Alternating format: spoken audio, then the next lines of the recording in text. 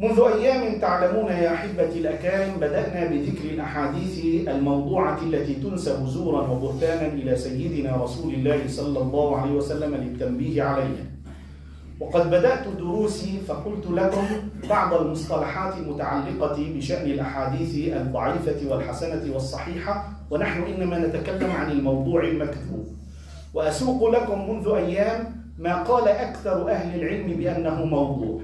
فإذا انتهيت من سردها سأبدأ بذكر بعض الأحاديث التي حكم بعض المحدثين بوضعها وبعضهم قال لا هي تدور بين الضعيفة وشديدة الضعف. إذا ما زلنا نسوق الآن الأحاديث التي قال أكثر المحدثين أنها موضوعة قولهم الغنى أو الغناء رقية الزنا أو الزنا. هو كلام صحيح لكنه ليس بحديث. قال ما معناه لم نفهم. ما المقصود منه الغنى أو الغناء معروف الغنى. رقية كما الإنسان يدعو لأخيه بالشفاء يرقيه يعني يقرأ له الفاتحة يقرأ المعوذتين هذه رقية. فالغنى هو رقية الزنا يعني هو سبب الحصول الزنا والعياذ بالله تعالى. هو كلام صحيح لكنه ليس بحديث. سبحان الله هذا مصاب حل بالأكثر المسلمين أنه مستسهل الغناء فهي مصيبة حلت. إذا بهذا اللفظ ليس بحديث. قال ليش في أحاديث تنهى عن الغناء؟ نعم. قوله صلى الله عليه وسلم ليأتين على أمة زمان يستحلون فيه الخمر والحرى والحرير والزنا. قال وين ذكر الغناء فيها؟ في لفظ في صحيح البخاري والمعازف. يستحلون الخمر والحرى والمعازف. معازف يعني الآلات الموسيقية مع الأغاني. يستحلون يقول لك حلال إيش فيها؟ تمام. فهذا هو الدليل وهناك أدلة أخرى. على كل قولهم الفاتحة لما قرئت له. لعله بهذا اللفظ ليس مشتهرا كثيرا ولكن هناك لفظ قريب منه مشتهر أكثر وهو قولهم ياسين لما قرئت له. وسيأتي سنأتي عليه في وقته. لكن الآن هنا نسرد الفاتحة وياسين. كلاهما موضوعات. ليس بأحاديث. ليس بأحاديث. قولهم إن عثمان رضي الله عنه لما ولي الخلافة رقي المنبر. فقال الحمد لله وأراد أن يخطب بالناس فأرتج عليه. أرتج يعني أغلق عليه. يعني ما بقى يقدر يسوق الكلمات وينظم الجمل يبدأ خطبته. فأغلق عليه فقال توقف قليلا ثم قال إن أبا بكر وعمر رضي الله عنهما كان يعدان لهذا الموقف مقالا وإن إن أبقانا الله سنعد له مقالا ثم نزل فصلى بالناس الجمعة وانصرف الناس. قال يعني يعني قال هذه الجملتين ونزل فيستدل به بعض الفقهاء على أن هذا جائز. طبعا هذا هذه القصة كلها مكذوبة. لم يحصل هذا مع عثمان رضي الله عنه. وعثمان رضي الله عنه كان خطيبا وأداؤه جيد وكذا وكذا.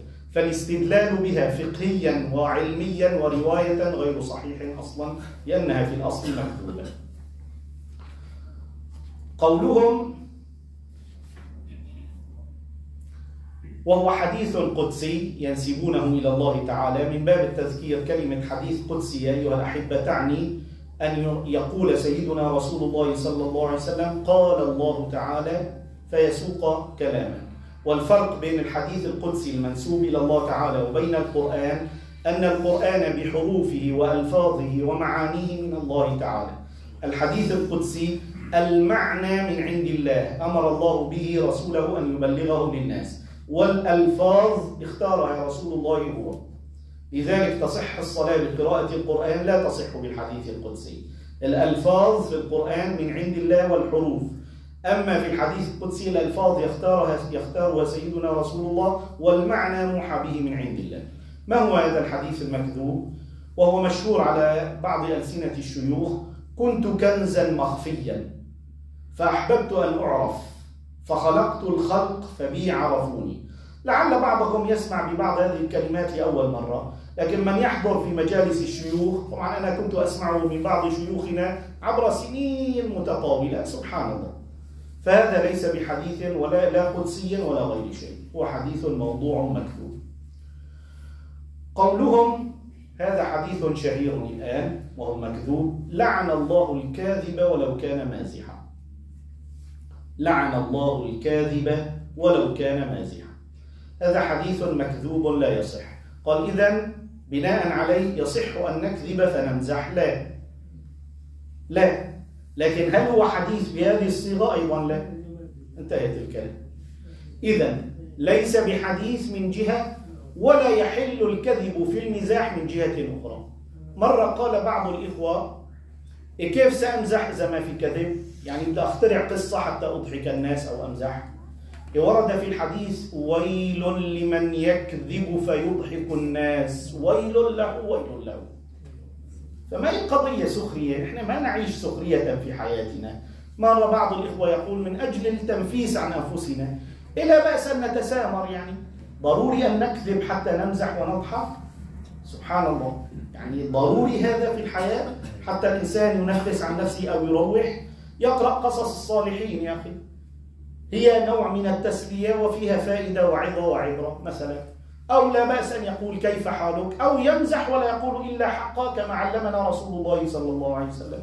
قال ليش في مزح حق؟ طبعا قطعا فيه وأمثلته كثيرة أضرب مثالا واحدا فقط لأن أمثلته كثيرة. جاءته مرة صلى الله عليه وسلم امرأة عجوز فقالت يا نبي الله أدعو الله أن يدخلني الجنة. قال إن الجنة لا تدخلها العجائز. فولت المرأة تبكي دارت صارت تبكي. قال تعالي تعالي. تدخلينها وأنت شابة.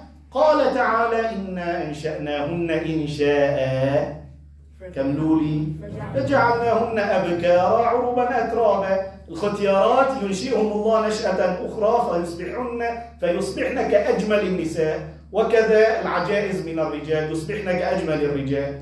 فتدخلينها وأنت شابة. فداعبها ولم يقل إلا حقا. جاءه رجل آخر فقال يا نبي الله احملني. أعطيني دابة أركب بها وأذهب إلى قومي. أنا فقير بطريقي بعيد. قال أحملك على ابن الناقة. بعطيك ابن الناقة. يعني جمل صغير في ظن هذا الرجل. قال يا رسول الله لا يحملني. أنا سمين. وين دايشيني هذا؟ بهبط فقال لا أحملك إلا على ابن الناقة. فولى الرجل قال تعال خذ تلك الناقة وامضي أو خذ ذاك الجمل وامضي. قال يا نبي الله قلت تحملني على ابن الناقة؟ قال أليس هذا ابنا للناقة؟ إذا أنت عمرك سبعين سنة يا الله. أبوك ملك أب ولا لك عمره 100 سنة. في إذا في ماشي الحال معناه معناه أنت ابن أب. وهذه ابن الناقة. سبحان الله العظيم. فداعب ولكن بالحق لا بالكذب. نعم. فهذا الكلام إذا غير صحيح. لعن الله الكاذب ولو كان مازحا. قولهم وهو شهير أيضا. لهدم الكعبة حجرا حجرا أهون عند الله من قتل امرئ مسلم. قال هذا ليس بحديث لا ليس بحديث. قال طيب في في هذا الباب أحاديث؟ في هذا المعنى؟ نعم. نعم. وقد قلت لكم أحيانا قد يكون الحديث الموضوع فيه لفظة تجعله موضوعا. أو أوله موضوع أو آخره موضوع. أنا نبهت إلى هذا مرارا لكي ننتبه. فهذا اللفظ المشهور على الألسنة ويقوله بعض الشيوخ الكبار لزوال عفوا لهدم الكعبة حجرا حجرا أهون عند الله من قتل امرئ مسلم. ليس بحديث. ما الأحاديث في هذه القضية؟ ما أخرجه مثلا الإمام مسلم في صحيحه قوله صلى الله عليه وسلم لزوال الدنيا أهون عند الله من قتل امرئ مسلم. ذاك أين في صحيح مسلم. لزوال الدنيا أهون عند الله من قتل امرئ مسلم. إذا ما القضية استهتار في قتل المسلم؟ حاشا وكلا. لكن نحن نذكر إيش؟ ما ثبت عن رسول الله وننبه على الكذب على لسانه. ولو كان كلاما يسيرا. كذلك حديث آخر أخرجه ابن ماجه فيه ضعف. قوله لما نظر رسول الله يوما إلى الكعبة قال ما أطيبك؟ ما أعظمك؟ وأعظم حرمتك؟ والمؤمن أعظم حرمة عند الله منك. سيدنا النبي ينظر إلى الكعبة إلى بيت الله المشرف كما روى ابن ماجه والإسناد متقارب يعني حسن. قال ما أطيبك وما أعظمك وأعظم حرمتك والمؤمن أعظم عند الله حرمة منك. سبحان الله عند من يعي مثل هذا الكلام أما من لا يأبى فدماء الناس وأموالهم وأعراضهم عنده كمثل الهواء والعياذ بالله. هذا فليراجع أصلا إيمانه إن كان مؤمنا. قولهم ينسبونه أيضا حديثا قدسيا يرويه بعض الشيوخ. لولاك لما خلقت الأفلاك. يعني الله تعالى يخاطب نبيه صلى الله عليه وسلم فيقول لولاك ما خلقت الأفلاك. جمع الفلك الفلك. لولاك ما خلقت الأفلاك ويستدلون به على أنه الله تعالى خلق كل شيء من أجل محمد صلى الله عليه وسلم. طبعا هذا الحديث لولاك لما خلقت الأفلاك كذب والاستدلال بهذه المسألة لا ينبغي في حال من الأحوال. أيضا حديث مشهور يرويه بعض أهل الشيوخ وبعض أهل التصوف قولهم لي مع الله وقت لا يسعني فيه ملك مقرب ولا نبي مرسل. سمعته مرة من شيخ له مقام كبير. يقوله ويردده مرات لي مع الله؟ يعني ينسب طبعا مو هو ينسب ذلك إلى رسول الله. لي مع الله وقت لا يسعني فيه ملك مقرب ولا نبي مرسل. ليس بحديث كذب هذا ولا يصح أن ينسب إلى رسول الله صلى الله عليه وسلم. قولهم ما اتخذ الله وليا جاهلا. ولو اتخذه لعلمه. الكلام صحيح لكن اللفظ ليس بحديث. ما اتخذ الله وليا له؟ جاهلا. ولو اتخذه وليا لعلمه. الكلام معناه صحيح لكن هل هو حديث؟ لا ليس بحديث. قال كيف المعنى صحيح؟ الجحال في الدين لا يكونون أولياء لله عز وجل. قال يعني ليش يا أستاذ؟ إيش الفكرة؟ يعني ليش الجاهل ما يكون وليا؟ كيف سيصلي هذا وهو جاهل؟ كيف سيتوضأ وهو جاهل؟ كيف سيؤدي مثلا الحج إذا ذهب إلى الحج وهو جاهل؟ قال يسأل إذا سأل صار عالم. مو شرط يكون عالم له عمامة يعني. تمام؟ ما قصد اللي هون الجهل إنه جاهل يعني يحط العالم له عمامه والجاهل ما له عمامه لا لا لا, لا ابدا. الجاهل يعني الذي لا يعرف أصول دينه هذا جاهل. فهذا كيف يكون وليا لله تعالى؟ وهو يجهل أصول دينه. فإذا تعلم أصول دينه خرج من كونه جاهلا. تمام؟ ما هو شرط كمان يحفظ كل اعمال الفقه قصدي كل أفكار وما ورد من معلومات في الفقه. هذا يصبح من أجل العلماء. لا. المهم أنه يعرف أصول دينه فهذا ليس بجاهل. أما جاهل لا يدري أصول دينه ثم نقول عنه ولي عجيب هذا. وفي هذا أختم بذلك. كان يدرج بين بعض أجدادنا ومن سبقهم. قد يرون رجلا يبول على ثيابه فيقولون هذا ولي دير بالك حسبي الله عنك طيب يبول على ثيابه هذا يا رجل. يبول في الشارع أمام الناس. لم يبقى أولياء لله غير هؤلاء؟ قال إيه هذا؟ له سر. طيب سره لوحده ينفعني سره أنا؟ كمسلم أنا أنتفع بسره أنا؟ على زعمك أن له سرا. له سر لنفسي. سره ليس لي أنا ما تعبدني الله بأسرار الناس؟ ما قال لي روح شوف على أسرار الناس. فسره لنفسه إذا كان له سر على زعمه فتراهم ينظرون إلى أناس ثيابهم يعني سيئة رائحتهم كريهة. سيدنا رسول الله الذي يقتدي به الناس المسلمون كانت رائحته طيبة. نبهنا إلى أن مما يدخل النار ويكون سببا لعذاب القبر أن عدم التنزه من البول. فكيف تقول مثل هذا الكلام يا أخي الكريم؟ هذا كما قلت كان دارجا عند بعض أجدادنا ومن سبقهم وأصلحهم الله. الآن قد يكون هذا الإنسان فيه شيء من جذب فهو غير محاسب قد يكون. واحد مجذوب الله ما بحاسبه عقله رايح بس مو تساوي ولي. مجذوب الله ما راح يحاسبه يا أخي. لكن تساوي ولي بدك تقبل إيده وإجره إيش هذا الكلام؟ إيش هذا الكلام بالله عليك؟